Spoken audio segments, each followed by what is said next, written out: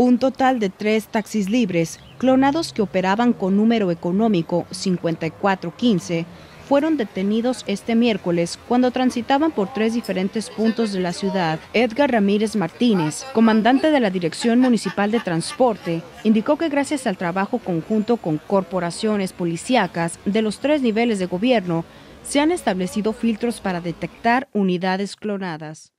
Instrucciones del titular de la dependencia llevamos a cabo operativos conjuntos con la Policía Ministerial en días pasados. Hoy en este día se detectó varias unidades clonadas sobre Boulevard Calzada Tecnológico, ejemplo, el 5415. El otro se detectó sobre Circuito Independencia Ruta Mariana y otro más sobre Villafontana.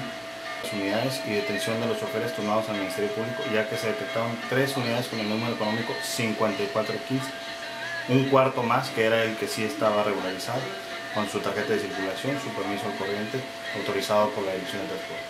Ramírez Martínez apuntó que la cifra de taxis clonados es negra y que por desgracia estas unidades son utilizadas también en la comisión de ilícitos como robo a tiendas de autoservicio, plazas comerciales y ciudadanos comunes. Tenemos una instrucción por parte del secretario de Gobierno realizar operativos constantes con diferentes corporaciones de los tres niveles de gobierno para acabar con este mal que acecha a los transportistas que están regularmente legales, están en servicio. ¿Qué procede después del aseguramiento? La turnación del chofer hacia el Ministerio Público por parte de la dirección y de la juez municipal de la dependencia.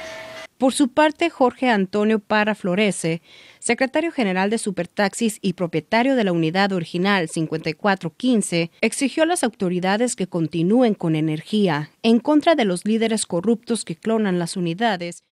Y exigiéndole a la autoridad que actúe con más energía en contra de todos los líderes corruptos que se prestan para, para administrar este tipo de amparos. Expresó que el tema de los taxis clonados ya se llevó al Congreso del Estado para que se ponga orden, además de que se investigue posible corruptela con un magistrado en el tema de amparos a taxis clonados.